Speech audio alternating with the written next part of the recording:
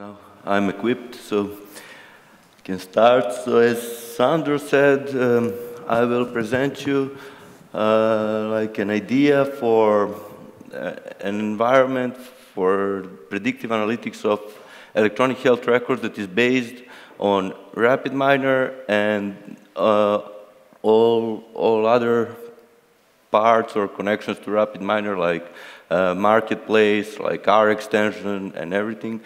Um, and this, uh, this environment is developed in joint efforts of several universities for now. So it's University of Maribor, Temple University, and um, University from Geneva, and Faculty of Organizational Sciences, University of Belgrade. So this is uh, still work in progress, and here is the motivation. So PPPM is predictive, personalized, and predictive medicine as defined by European Association for Predictive, Personalized, and Medicine. So they have an association, so it's a really big problem. And Institute for Healthcare Improvement identified the high economic impact on global economy everything, and they define several, several goals here. So first is to improve population health, to improve experience of care of individual patients, and per capita costs. So these are contradictory tasks, and this is really a hard problem having in mind the prices of, of medical research. So um, big data and data analytics was emphasized as one of major, major goals in development and medical, medical research. So the idea is to move, move patients from and to keep patients away from hospitals through uh, ultimately wellness promotions, but first to improve primary care and secondary care, and finally to improve wellness promotions. So not, the problem is not only in medical aspect, but also in healthy life and training and everything. So, so this is the current state. There is already a lot of things being being done for this patient. There are already developed softwares for virtual visits, so now someone, uh, if patient comes to the doctor with some specific case, he can uh, he can send uh, send uh, a picture if it is a skin problem. He can send a picture of skin disease or whatever to specialist and get the answer pretty quickly. Uh, there is also uh, connected health. There is a lot of devices and now wearable devices that are more and more popular. Uh, everybody are wearing and we had a talk about uh, smartwatches, wristbands and all other wearable devices and specialized medicine devices for measuring I don't know, blood pressure, EEG, ECG, or whatever. So, and another source of data is really social health platforms that are more and more popular, like uh, Patients Like Me, where people are exchanging different, uh, different information, ask questions, getting answers from specialists or from other patients. And um, uh, but also there are, there are electronic health records that are stored there and really patients like me allows allows mm, getting that data of course for for a fee that depends. So in order to be more interesting Sandro mentioned some of these facts but uh, these are numbers. So it is anticipated that there will be a lack of uh, nine 90,000 doctors in US only by 2025. And this is often the reason of readmissions. Sandro told you about the problem. Uh, this is often the reason of readmission or late diagnosis that is really uh, expensive both in human perspective and in finance.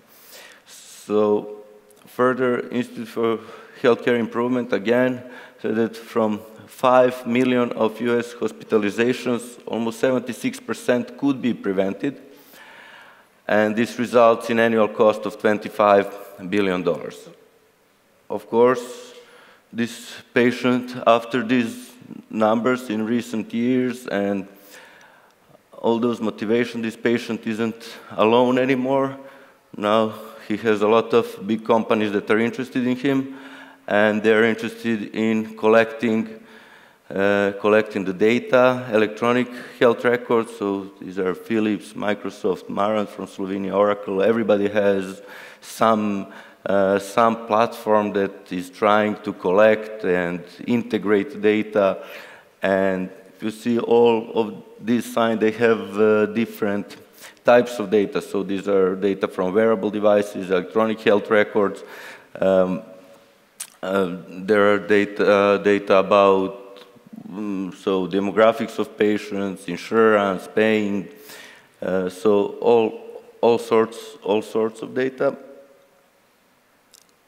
But the problem is that this data, nobody really provided, provided some tool that allows analytics, uh, I mean seamless analytics and making of accurate predictive models that could handle these problems. Of course, this is not by the accident, so now we have a lot of data, I mean, in different sources, but that is it could be integrated, but we have a lot of challenges. So first and major challenge is that healthcare and diseases are really complex problems. So this is, there are complex diseases, there are different uh, comorbidities, uh, comorbidities that could be involved, uh, multitude of factors that could influence on development of disease, different, different contexts. So if we have like the same disease won't attack some people that are younger or older or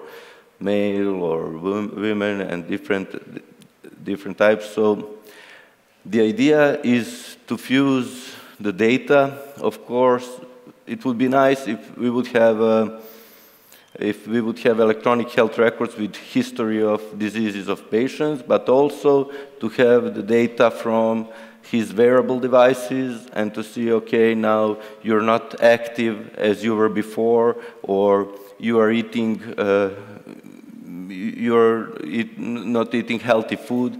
There are a lot of applications about that also, so I found some application where in some student, student home, mm, there is a machine that uh, pictures that, that, that, pictures the plate with the, with the food and calculates all the calories and, and everything that, uh, that you eat after that. So that's, that's pretty cool and it's pretty easy to integrate something like that, electronic health record. But also, uh, there is a really big problem about data privacy, but many people talked about this, so I won't go deep into that, but we had some methods that, address these problems. So, so um, main point here is that there is a large gap between potential of this data and, uh, and real usage. So, and problems are data privacy, also interpretability of the models, because uh, doctors and physicians, they don't want to use some models that are not interpretable, they, uh, what they cannot understand. So that is additional, additional challenge. So you have to uh, use uh, models like uh, logistic regression, linear regression, or decision trees that could be interpreted. And you know that so currently cutting edge algorithms are SVMs or neural networks. And that's, that's additional problem. So we made um, we made a lot of methods for and for data pre-processing. So we wanted to use standard algorithms, but to make pre-processing better. Uh, so this is that, that gap from one side. We have a lot of, lot of data sources that are generated by patients and they're available and now it, everything is cheap. On the other side, we have knowledge, we have experts in the field, we have even some structured, structured knowledge in forms of ontologies, expert systems, or rules that could be used, and the idea is to fuse these two, these two as, um, as it was already spoken today about this, but I will show some, some examples of fusing data and knowledge and what we could get. So the idea we could use some knowledge for pre-processing data. So I don't want to get everything from the algorithms. So data scientists, they're trying to get everything from the algorithm. So I have a lot of data. I'm, I know what are um, good methods in general for pre-processing, for modeling, for everything, and I want to learn everything. But then you go to a physician and he tells you, okay, but this, this feature Mm, it's, it's not correlated with this disease. Why are you analyzing that at all? And I did a lot of effort to analyze as much data as, you as I can in order to find something. And somebody just can tell me, okay, this is, okay, I don't want to say the word, but this is not beneficial. Let's say it like, like that, yeah.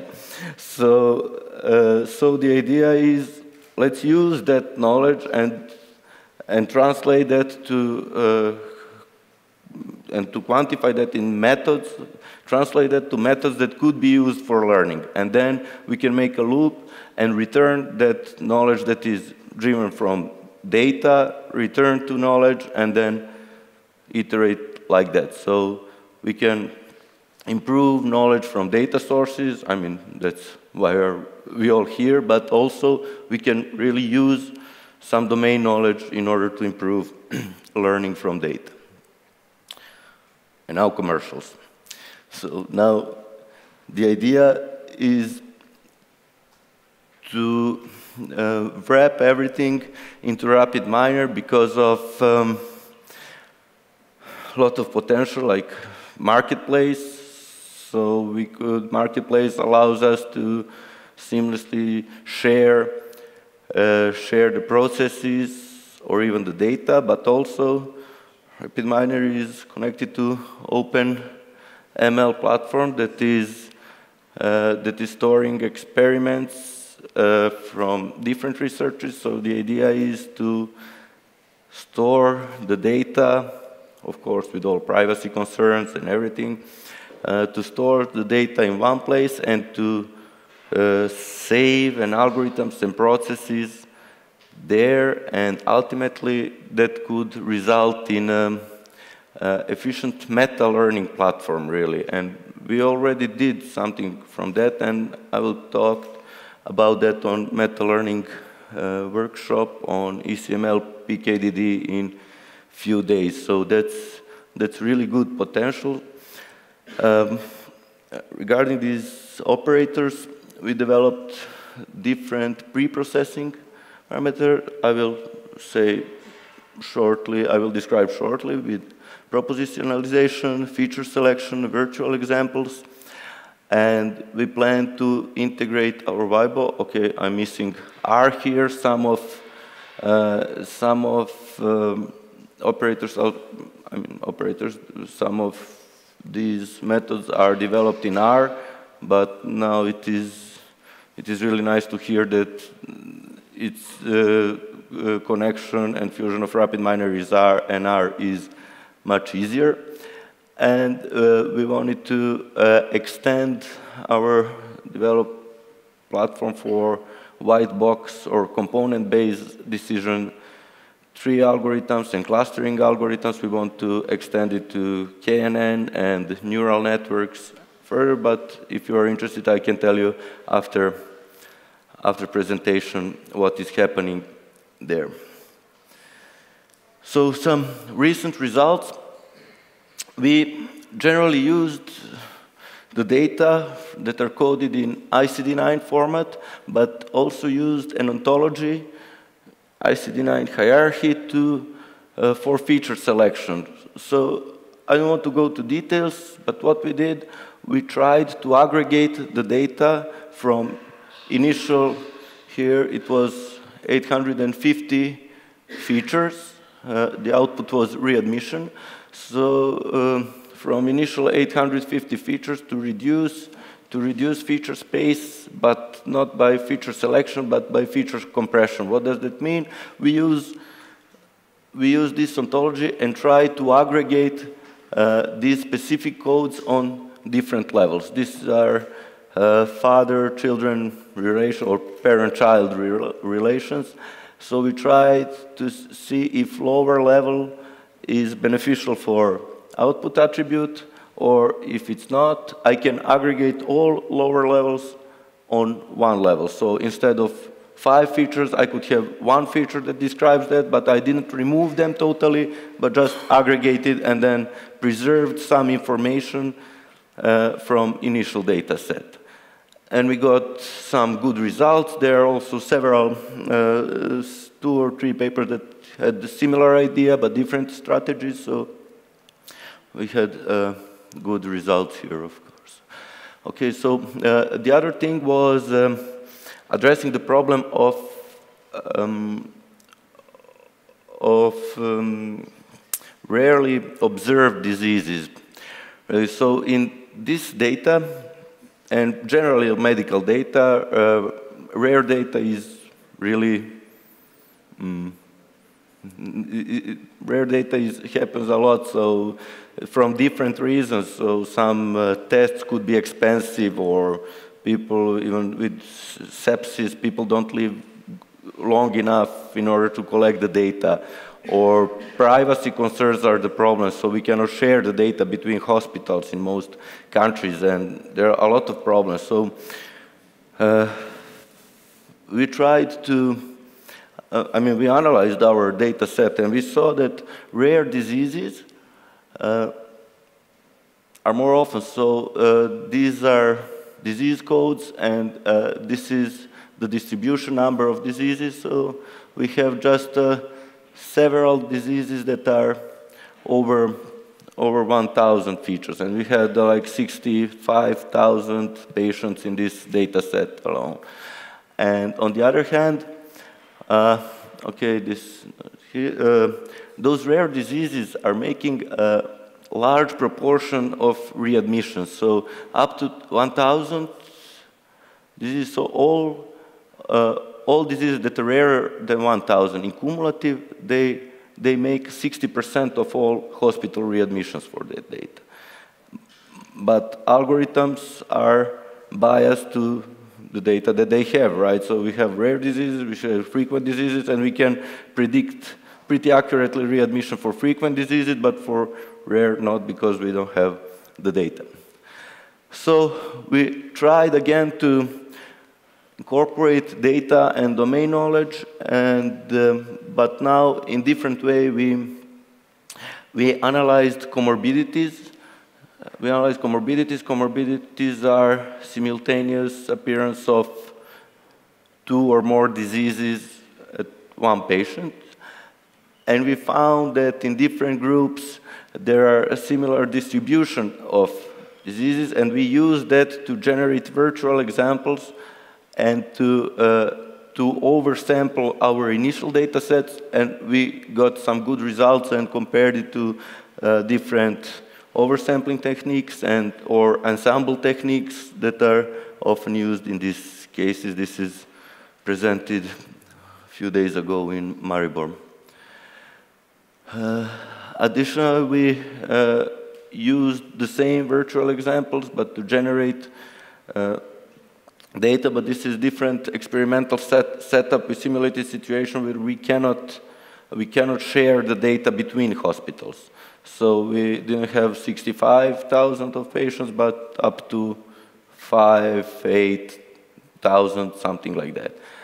And we try, we uh, did some technique of randomization, but also with that domain knowledge and with different parameterization, we got virtual examples that are not real, that are um, there, I mean, there was one more layer of security uh, besides removing ID, hospital ID, and other things. But these diseases were randomized and added to uh, to initial data, and we got a bit better results. Uh,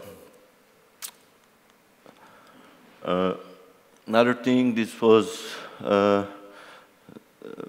we already developed this operator. This is propositionalization call, but uh, we use only uh, association rules to create new features. So Sandro developed uh, an implemented uh, operator that is doing that by itself. So he's applying uh, association rules, but gives you a feature set from, uh, from those association rules depending on, on parameters that you, that you got. So now that is available, we also got some results, but this is, uh, this is the thing that we will work on further. So again, this was feature extraction or compression, I don't know how to, how to call it, but instead of original codes, we uh, have smaller number of codes that, are, that include uh, different original codes and some relations. Uh, this is a stacking model that was presented by Sandro a minute before. And these are our collaborators that were involved in here and that, that had some interest in future, future projects and that will probably, probably um, be our, our partners in future pro projects from Horizon. We plan to, to, to submit several Horizon projects and some other. It is interesting that um, this healthcare is really popular topic and European projects allowed to uh, collaborate between United States and, uh, and from other countries. Even NIH also allowed to, to collaborate Uh, vice versa with United States and Europe, so that is, that is open now. And I hope that we'll find some new partners here, and we already found, but after this presentation. Okay, thank you very much. If there is